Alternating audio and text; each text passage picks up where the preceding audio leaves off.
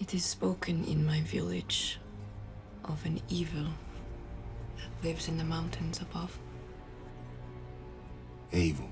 An evil that appears as a man when it wants to hide its true nature. And that night, he feeds on the blood of the innocent. The elders, they made bargains for the safety of our people. You were given to this man. It is not a man. Then an animal. No, it is not some mindless animal either. Do not make that mistake. We call him Dracula. And you, you believe that he brought you on board? Why?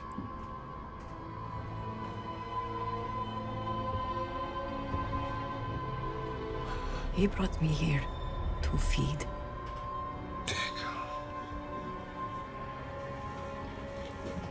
He is here, Mr. Clemens. The thing that wears the skin of a man. In the night, it drinks our blood, and he is on this ship. Which means that we will never leave it.